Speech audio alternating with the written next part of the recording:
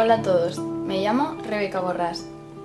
Todavía recuerdo cuando era pequeña, demasiado pequeña como para preocuparme por nada.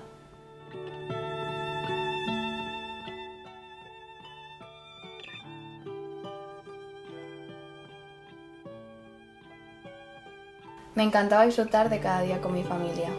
No era consciente de lo valiosos que eran esos momentos, pero aún así los disfrutaba al máximo.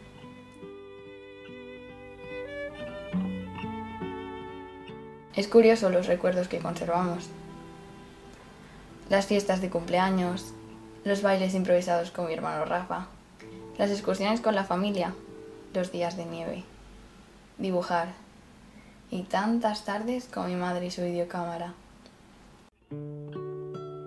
Pero todo puede cambiar en un instante. Mi asesino era un chico sin respeto por la vida. Nuestros caminos se cruzaron de repente yo cruzaba un paso de cera con mi bici, cuando él se saltó el semáforo, saliendo de la nada a tanta velocidad que no me dio opción.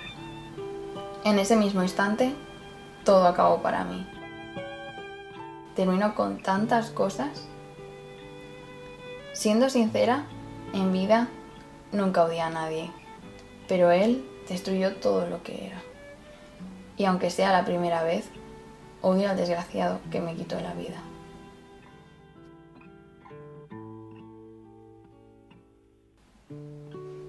Bien sabéis los planes que tenía, lo enamorada que estaba. Y todo, todo se ha quedado en nada. Me llamo Rebeca Borrás.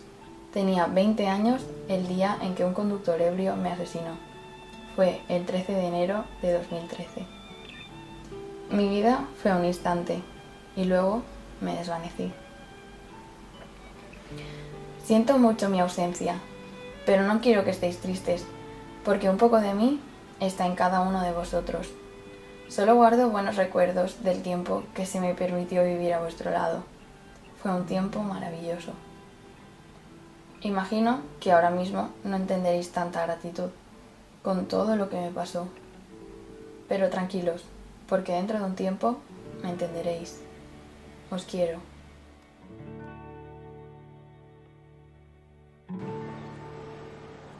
¿Qué estás merendando? Eh, una manzana. ¿Y te gusta? Sí, mucho. Pero no está muy ácida. No está poco ácida.